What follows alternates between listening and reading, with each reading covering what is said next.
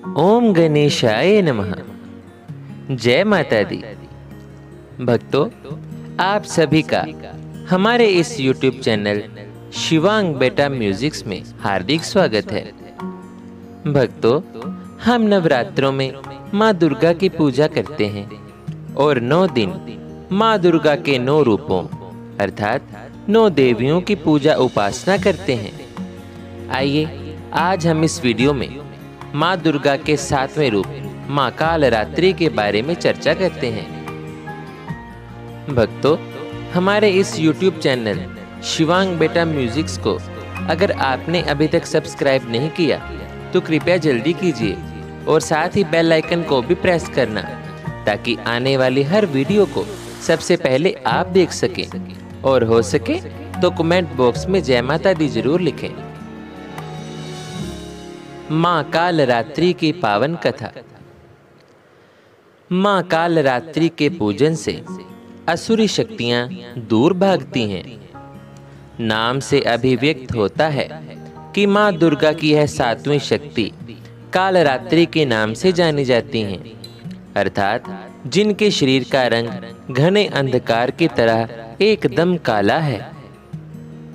नाम से ही ज़ाहिर है कि इनका रूप भयानक है। सिर के बाल बिखरे हुए हैं और गले में विद्युत की तरह चमकने वाली माला है।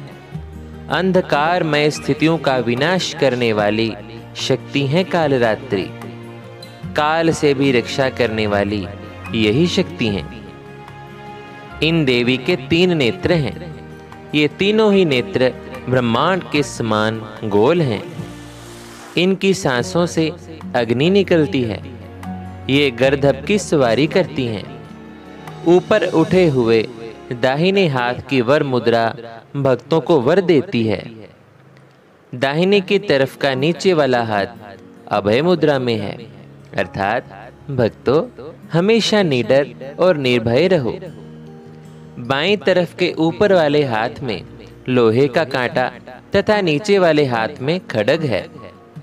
इनका रूप भले ही भयंकर हो, लेकिन ये सदैव शुभ फल देने वाली है। इसलिए ये शुभंकरी कहलाई।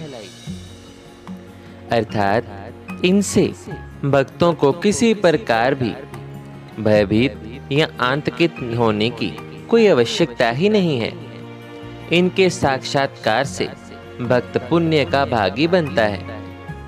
काल रात्रि की उपासना करने से ब्रह्मांड की सारी सिद्धियों के दरवाजे खुलने लगते हैं और तमाम असुरी शक्तियाँ उनके नाम के उच्चारण से ही भयभीत होकर दूर भागने लगती हैं। इसलिए दानव, दैत्य, राक्षस और भूत प्रेत उनके स्मरण से ही भाग जाते हैं। ये ग्रह बाधाओं को भी दूर करती हैं और अग्नि, जल, जंतु, शत्रु और रात्रि भय भी दूर हो जाते हैं। इनकी कृपा से भक्त हर तरह के भय से मुक्त हो जाता है।